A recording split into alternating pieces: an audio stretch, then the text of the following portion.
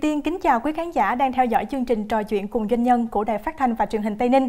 Chương trình được phát sóng định kỳ vào lúc 11 giờ 15 phút thứ ba, tuần thứ hai và tuần thứ tư hàng tháng trên kênh TTV11 và quý vị cũng có thể xem lại chương trình trên hạ tầng YouTube Truyền hình Tây Ninh. Kính thưa quý khán giả, cách đây khoảng 300 năm trở về trước, có một loài sâm đã được phát hiện và sử dụng lần đầu tiên để làm dược liệu tại Châu Bố Chính, nay là vùng đất thuộc huyện Bố Trạch và huyện Quảng Trạch của tỉnh Quảng Bình. Với sự phong phú về hàm lượng dinh dưỡng và hoạt chất đặc biệt, cây sâm bố chính giờ đây đã trở thành một sản phẩm thân thiện, gần gũi với người dân Việt Nam nói chung và với người dân Tây Ninh nói riêng. Xuất phát từ đâu, nghiên cứu thực hiện như thế nào và canh tác ra sao, cũng như ai là người đã làm nên hành trình đưa sâm bố chính về với Tây Ninh. Trò chuyện cùng doanh nhân ngày hôm nay, kính mời quý vị sẽ cùng gặp gỡ vị khách mời ngay sau đây.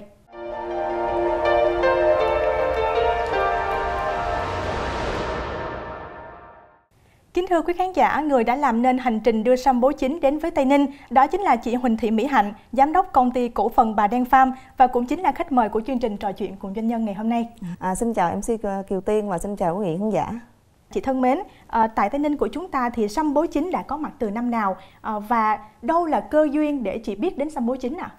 À, thì à, năm 2013 thì à, qua một người bạn mình làm ở công nghệ cao thành phố Hồ Chí Minh đó thì à, bạn đã có đề tài nghiên cứu à, thạc sĩ về sâm bố chính. Thì mình được à, nghiên cứu đề tài cùng bạn và mình mới hiểu sâm bố chính. Từ đó là mình bắt đầu đi tìm hiểu sâu về nó và mình bắt đầu mua giống về trồng và nhờ người bạn đấy tư vấn kỹ thuật cho mình. Thì à, qua nhiều năm nghiên cứu thì à, mình đã trồng thử nghiệm thành công. Thì cuối năm 2020 thì mình đã thành lập công ty. Quý khán giả thân mến, Quảng Bình cách Tây Ninh chúng ta hơn 1.200 km và qua những chia sẻ vừa rồi của chị Mỹ Hạnh thì rõ ràng là sâm bối chính đã vượt một quãng đường khá xa với những điều kiện tự nhiên như là về khí hậu, về thổ nhưỡng của hai vùng đất gần như là khác nhau. Vậy thì khi chị bắt tay vào trồng cây sâm bối chính, chị có nghĩ là mình sẽ gặp những khó khăn hay là những trở ngại nào không ạ? thì lúc đầu thì cũng do chưa hiểu rõ lắm về đặc tính sinh trưởng của cây sâm bố chính nên là cũng thất bại rất là nhiều thì từ những cái thất bại đó thì mình mới rút ra được kinh nghiệm thì à, đặc tính của cây sâm nó cũng khó trồng Dạ vâng ạ. À, rõ ràng là biết khó khăn là như thế ấy nhưng mà Kiều Tiên tin rằng à, chị Huỳnh Thị Mỹ Hạnh đã có những giải pháp cụ thể để vượt qua mọi khó khăn và không biết là trong thời điểm ấy thì chị Hạnh đã làm những gì và làm như thế nào để tiếp tục trồng sâm bố chính tại Tây Ninh ạ? Thì tuy thất bại nhiều nhưng mà bản thân mình cũng quyết chí lắm. À, cuối cùng thì cũng nó cũng thành công. Thì thời điểm à, thời tiết ở Tây Ninh nó hiện nó khắc nghiệt ban ngày thì nắng nóng ban đêm thì trời lạnh. Thì nó cũng là một trong những lợi thế để nó cho ra được cái cái dược tính của sâm bố chính nó rất khá cao. À, ngoài công việc à, chăm sóc cẩn thận thì ngoài làm phân và phân bón hữu cơ làm đất thì cái thời điểm thích hợp nhất để mình mình trồng sâm bố chính là cái à, cái thời gian thời gian trồng của nó. À, sau khi nghiên cứu trồng thành công thì tôi cũng liên kết với vài con nông dân ở trên địa bàn tỉnh thì à, chúng tôi đưa giống đưa cung cấp phân bón à, chuyển giao quy trình kỹ thuật cho bà con và sau đó thì à, bao tiêu đầu ra cho bà con nông dân. Thì cái câu chuyện khó khăn tiếp theo mà để bao tiêu đầu ra thì cái sản phẩm đó nó như thế nào và nó được phân phối làm sao? Thì trong cái sâm búa chính thì nó có chứa thành phần saponin. Thì nó được xem là cái hợp chất mà có tác dụng của các họ nhân sâm ngoài ra nó còn có nhiều hợp chất vitamin axit amin. Thì trước đây người ta dùng để làm những món ngon. Thì ờ, không mình suy nghĩ là bây giờ nếu mà mình dùng sản phẩm sâm bố chính chỉ làm những món ăn không á thì nó không đủ. À, dạ dễ đáp được bài toán là bao tiêu đầu ra. Thì mình mới ờ, nghiên cứu ra những sản phẩm công nghiệp sau thu hoạch. Để nghiên cứu được những sản phẩm đó thì nó cũng là một cái rất điều rất là khó khăn. Vì mình không biết là mình sản phẩm sản xuất cái sản phẩm gì và để phục vụ như thế nào cho bà con nông dân thì à, cuối cùng thì à, bản thân tôi và cái team của mình cũng bắt tay vào nghiên cứu. Mình thành lập công ty vào cuối năm 2020 cũng là thời điểm dịch bắt đầu. Thì đó cũng là một những à, khó khăn cho công ty rất là nhiều giai đoạn đầu mình thành lập công ty. Nhưng trong cái khó khăn đó nó lại là một điều may mắn với mình. Thì chính vì vậy mà à, nguyên cái mùa dịch đó mình chỉ có tập trung vào nghiên cứu sản phẩm thôi. Thì khi mà dịch vừa vừa giảm xuống thì sản phẩm của mình bắt đầu ra thị trường. Dạ vâng ạ. À. Ờ, kính thưa quý khán giả, song hành cùng với những khó khăn, những thử thách sẽ là những giải pháp cụ thể để được áp dụng vào thực tế, để từ đó khó khăn không còn là khó khăn nữa đúng không ạ? Với chị Mỹ Hạnh thì chị đã có những hướng đi riêng và tìm được giải pháp phù hợp để giờ đây sâm bối chính đã được nhiều người dân Tây Ninh biết đến cũng như là những sản phẩm của công ty cổ phần Bà Đen Farm cũng được mọi người rất là tin dùng ạ. Dạ, thưa chị Mỹ Hạnh thì hiện nay là mình đang có bao nhiêu hecta trồng cây sâm bố chính trên địa bàn tỉnh nào? À, hiện tại công ty trồng và liên kết với bà con nông dân là 10 hecta trên địa bàn tỉnh Tây Ninh. À, Kiều Tiên được biết là từ sản phẩm cây sâm bố chính này, công ty cổ phần Bà Đen Farm đã cho ra đời rất là nhiều những loại sản phẩm khác nhau. Vậy thì đó là những sản phẩm nào ạ? À, công ty cũng à, sản xuất ra rất nhiều sản phẩm, trong đó có cái rượu rượu sâm bố chính, trà trà túi lọc sâm bố chính, à, trà hoa sâm bố chính, à, bột sâm bố chính và sâm bố chính sấy lát. Vâng, thưa quý vị, và để chúng ta hiểu rõ hơn về quá trình sản xuất ra rượu sâm bố chính, ngay bây giờ chúng ta sẽ cùng nhau kết nối với MC Minh Lam đang có mặt tại cơ sở sản xuất của công ty cổ phần Bà Đen Farm. Xin chào Minh Lam. Chào Kiều Tiên, chào chị Mỹ Hạnh và chào quý khán giả. Hiện tại thì Minh Lam đang có mặt tại à, xưởng à, sản xuất rượu Bà Đen Farm và người đứng bên cạnh Minh Lam chính là anh Bảo Dương và ngày hôm nay thì anh Bảo Dương sẽ hướng dẫn cho Minh Lam đi trải nghiệm là công việc để sản xuất rượu như thế nào nha. Và bây giờ thì chắc em nhờ anh Dương hướng dẫn cho em nha. Dạ. mời bạn vào thôi.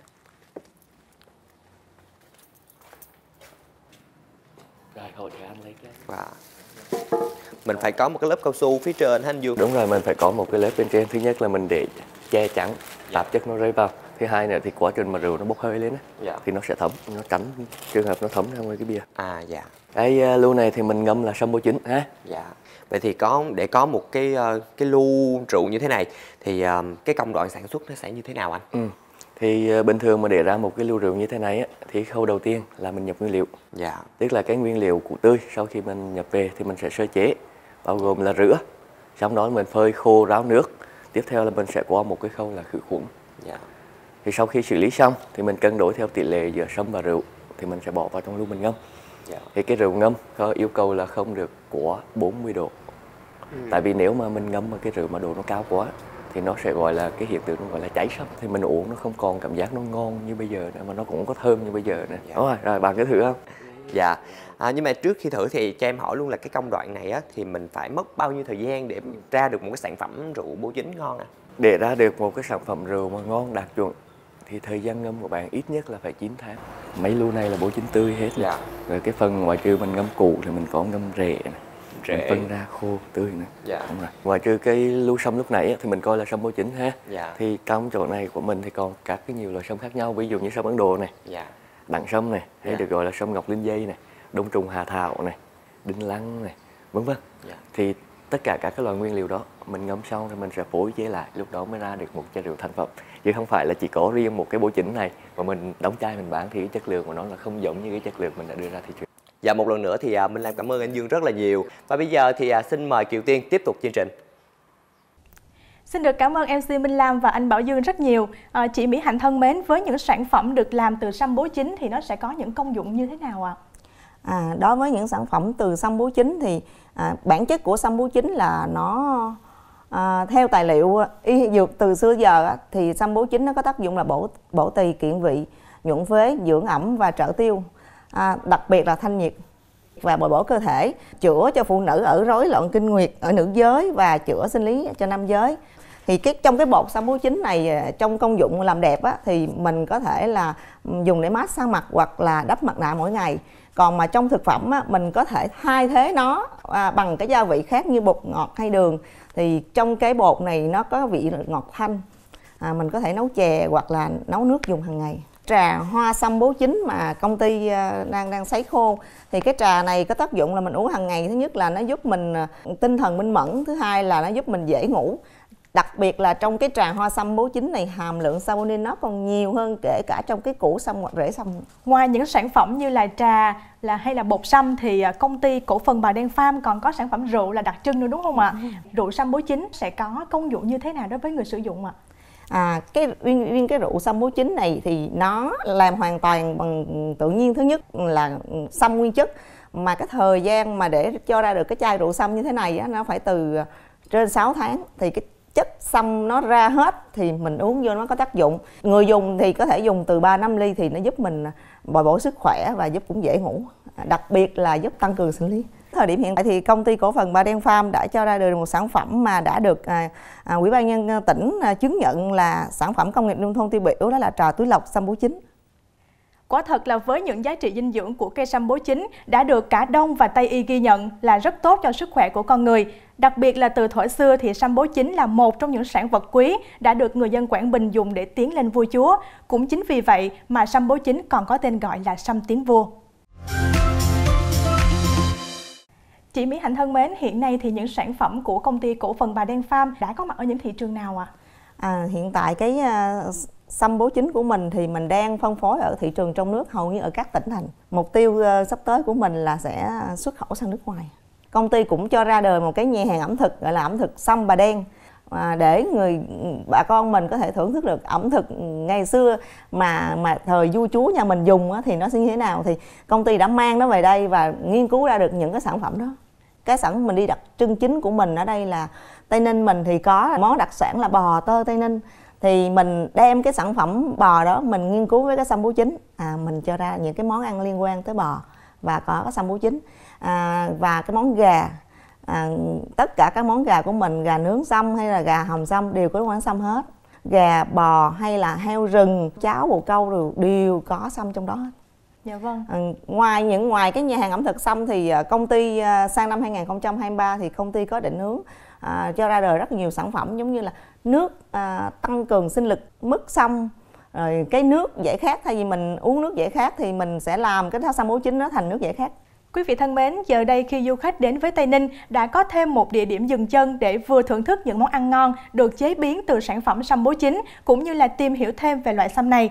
Và thưa chị Mỹ Hạnh, cùng với việc cả nước ta đang thực hiện công cuộc chuyển đổi số trên tất cả mọi mặt, vậy thì hiện nay công ty của mình đã có những hoạt động nào để cùng tham gia cũng như là tiếp tục quảng bá về thương hiệu của công ty ạ? À? với thời đại công nghệ ờ, số 4.0 thì công ty cũng ờ, kịp bắt kịp xu thế đó và những cái sản phẩm của mình đó mình đều đưa lên sàn thương mại điện tử à, Tiki, à, Sen đỏ, Lazada, à, rất là nhiều trang khác nữa bạn có thể lên đó và đặt hàng và công ty cũng có website riêng à, sử dụng à, phần mềm để quản lý à, nhân sự quản lý con người quản lý bán hàng kể cả quản lý kế toán và công ty cũng đang sử dụng cái à, cái, cái, cái chữ ký số hoặc là cái hóa đơn điện tử có một câu hỏi mà chương trình trò chuyện cùng doanh nhân luôn đặt ra đó chính là khi bản thân chị là một người phụ nữ hoạt động trong lĩnh vực kinh doanh thì mình sẽ gặp phải những khó khăn hay là những cản trở nào không ạ? Đối với ờ, phụ nữ hiện thời điểm hiện nay thì làm kinh doanh rất là nhiều. Thì à, theo bản thân tôi thì việc nghĩ phụ nữ hoạt động kinh doanh thì nó cũng không khó khăn lắm. Nhưng mà nó có những cái cản trở ngại với phụ nữ là vừa phải vừa lo kinh doanh mà phải vừa lo việc à, gia đình. Thì bản thân tôi trước khi mà khởi nghiệp thành lập công ty cổ phần bà đen farm thì tôi cũng đã từng là giám đốc điều hành của một doanh nghiệp. Từ khâu tổ chức bộ máy sản xuất tổ chức bộ máy nhân sự bộ máy kinh doanh mà sau những cái thời điểm đó thì mình đã có nhiều kinh nghiệm để mình có thể tự tin là mình ra mình khởi nghiệp thì không có sự thành công nào mà không có thất bại. Thì sau những lần thất bại vậy thì thành công nó đến với mình mình cảm thấy mình vẫn vững vàng hơn. Dạ vâng. Nếu như mà có một thông điệp chị muốn nhắn gửi thì chị sẽ nhắn gửi điều gì ạ? À? nếu mà có một thông điệp thì mình cũng xin nhắn gửi với các bạn trẻ và đang có ý định khởi nghiệp thì thất bại là mẹ của thành công không có sự thành công nào nó dễ dàng hết. Mà khi bạn đã vượt qua nữa bạn quyết tâm khởi nghiệp quyết tâm để cho mình làm những cái sự nghiệp cho mình thì bạn cần phải trang bị cho mình về kiến thức về quản trị kiến thức về khởi nghiệp à, kiến thức về cái sản phẩm lĩnh vực mà mình đang theo đuổi. Rất cảm ơn những lời chia sẻ vừa rồi của chị Mỹ Hạnh. Và một lần nữa Kiều Tiên xin được cảm ơn chị Huỳnh Thị Mỹ Hạnh đã đồng hành cùng với trò chuyện cùng doanh nhân ngày hôm nay. Cảm ơn quý vị đã quan tâm theo dõi và đồng hành cùng với chương trình. Quý vị đừng quên đón xem chương trình vào khung giờ quen thuộc 11 giờ 15 phút, thứ ba, tuần thứ hai và tuần thứ tư hàng tháng trên kênh TTV11 và quý vị cũng có thể xem lại chương trình trên hạ tầng YouTube truyền hình Tây Ninh. Còn bây giờ Kiều Tiên xin kính chào tạm biệt và hẹn gặp lại.